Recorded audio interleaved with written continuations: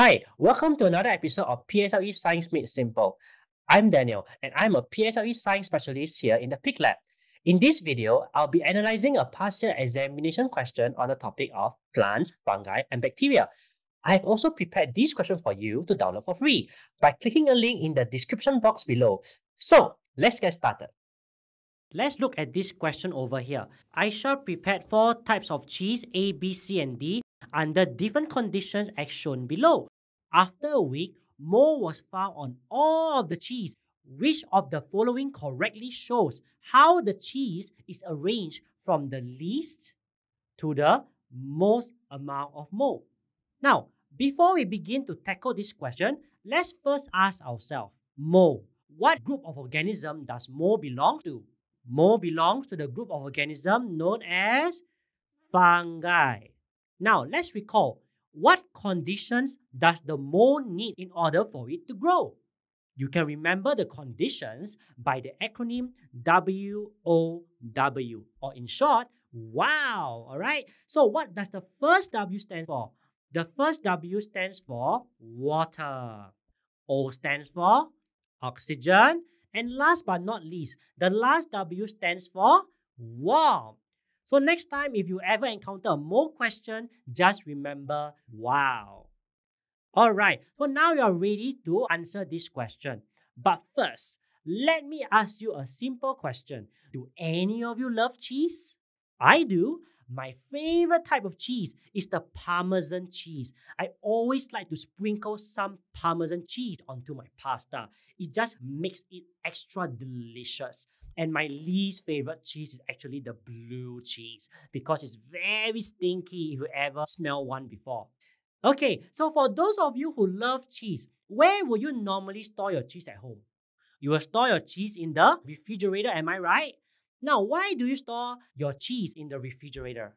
It's because the refrigerator is cold. Okay, and recall, mold needs warm to grow. So if you store your cheese or your food in the refrigerator, it will help to slow down the growth of mold. And hence, it's always advisable to store all your unfinished food in the refrigerator.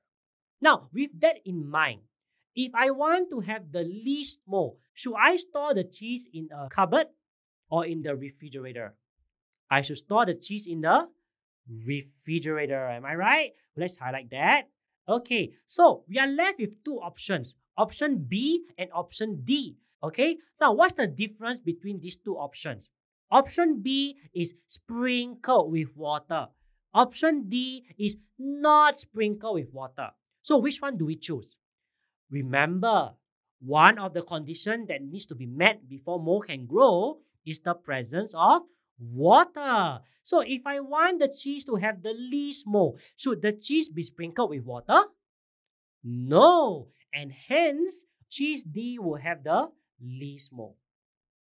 Now, let's talk about the cheese with the most mold. So, if I want the cheese to have the most mold, the cheese should be stored in the cupboard. So, you have two options over here, A and C. Okay, now, among these two options, A and C, a is sprinkled with water. C is not sprinkled with water. And remember, water is an important condition before mold can grow. Am I right? So if I want the cheese to have the most mold, should the cheese be sprinkled with water? Yes. Hence, A would have the most mold. Let's write it down over here.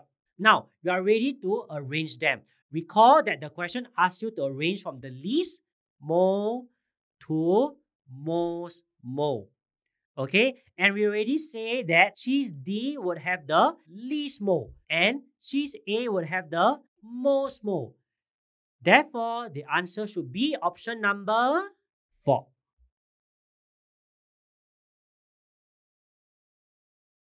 Thank you for watching and I hope that you enjoyed this video. If you found this video useful, do give us a thumbs up. If you'd like to check out more videos by us, do click on the link on the right hand side. Last but not least, don't forget to subscribe to our channel for more interesting videos. Thank you and I'll see you next time. Bye!